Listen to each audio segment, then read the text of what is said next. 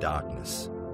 First a dot, then a glare, splitting into thousands of tendrils snaking across the stars. Left unchecked, the Tyranids would swarm and devour these worlds of man.